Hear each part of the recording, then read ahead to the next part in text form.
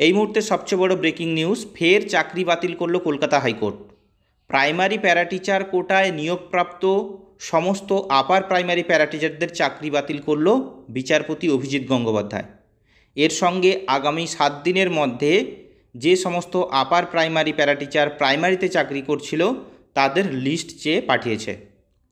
এই হচ্ছে টোটাল বিষয় যে আপার প্রাইমারি কোনো প্যারাটিচার প্রাইমারিতে চাকরির করার সুযোগ পাবে না প্রাইমারি প্যারা টিচার যে কোটা রয়েছে সেখানে। অর্ডার কপিতে বিস্তারিত বলা রয়েছে by an order of the division bench in MAT one zero two three of two zero two two it has been decided that the upper primary para teachers are not eligible for primary teachers eligible নয়। Here the case of the petitioners is that they are upper primary para teachers and they should be considered for appointment given for the post of primary teachers.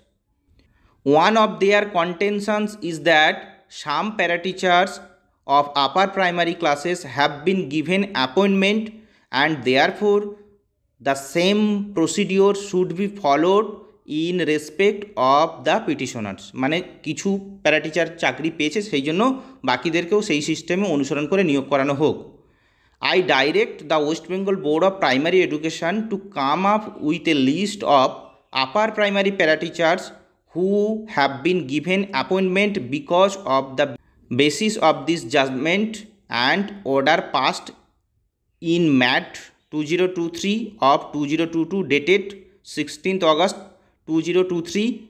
No parateachers of upper primary is eligible for the post of primary teachers. Therefore, the upper primary para teachers should be excluded and their service should be terminated even if they are appointed as primary teachers. মানে তাদের চাকরি কিন্তু terminate করা হলো।